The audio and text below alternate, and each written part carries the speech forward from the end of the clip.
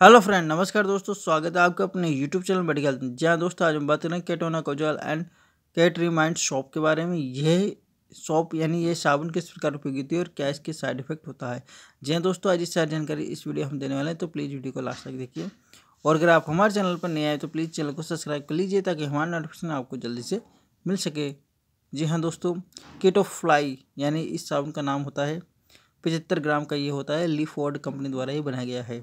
जहाँ दोस्तों, इसका इस्तेमाल करने से हमारे किसी प्रकार का इन्फेक्शन जैसे दाँत खाज खुजली या किसी प्रकार के जैसे स्किन में इन्फेक्शन हो जाता है तो इन सारी समस्याओं में इस साबुन का उपयोग हम करते हैं। इस साबुन को नहाने से, यानी इस साबुन को यूज़ करने से हमारे विभिन्न प्रकार की बीमारी हो जाती है, जिससे इन्फेक्शन होता है, उनको ये दूर करता है।